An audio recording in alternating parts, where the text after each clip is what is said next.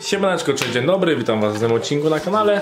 Dzisiaj tak króciutko, ponieważ zrobimy sobie losowanko konkursiku, w którym, przypomnę, mogliście wygrać sobie bluzę, koszulkę i kubeczek, więc filmik, który tutaj teraz będę losował z filmiku, już wam pokazuję co to było. Tak dla przypomnienia, było to filmik na temat sprzedałem Yamaha tam był konkursik. Yy, gdzieś tutaj. O. Kubeczek, takie rzeczy, nie? Dobra, i było napisać w komentarzu Yamaha trzeba było udostępnić filmik, zasubskrybować kanał i jeszcze trzeba było eee, co trzeba było zrobić, to zobaczymy, bo nie pamiętam. Zasubskrybować, udostępnić publicznie. e, skomentować i polajkować, nie? Także tak, komentarze było 161 teraz sobie co zrobimy to skopiujemy link do filmiku wkleimy sobie w taką stronę gdzie tutaj możemy sobie losować. Wklejamy filmik. Tu sobie robimy takie rzeczy, że przyciskamy sobie żeby nam nie liczyło podwójnych komentarzy, czyli jak ktoś napisał sobie z jednego konta trzy komentarze, czy tam ileś, to po prostu e, to wychwyci jako jedno.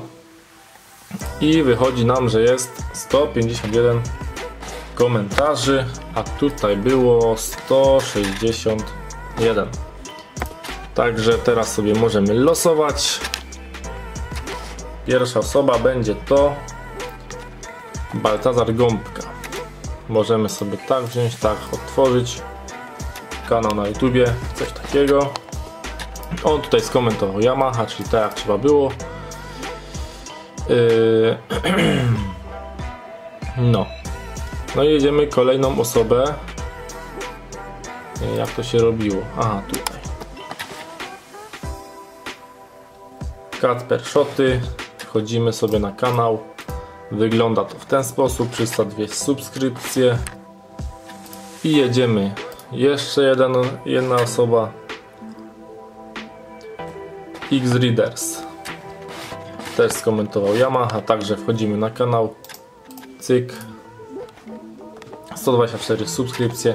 I teraz tak, pierwsza osoba, czyli Baltazar Gąbka wygrywa sobie bluzę druga osoba, czyli Kacper Shot wygrywa koszuleczkę i trzecia osoba X-Riders wygrywa sobie kubeczek. Także te osoby, te osoby są proszone, żeby się skontaktować ze mną poprzez Facebooka na stronie, e, dać mi adres oczywiście do wysyłki i jak będę miał wszystkie adresy od wszystkich trzech osób, no to no to oczywiście wysyłam do Was koszulkę, bluzę i kubeczek. A jeżeli ktoś się nie skontaktuje tam w ciągu dwóch, trzech dni, no to po prostu yy, wylosujemy sobie na innym filmiku jeszcze tam jedną osobę, żeby, żeby było git. Oczywiście do tego całego zestawu dostajecie tam jakieś tam wlepy, kilka sztuk i żeby było fajnie, no to oczywiście Zachęcam do subskrybowania kanału, komentowania, zapraszam Cię na Facebooka, Instagrama, na wszystkie inne rzeczy.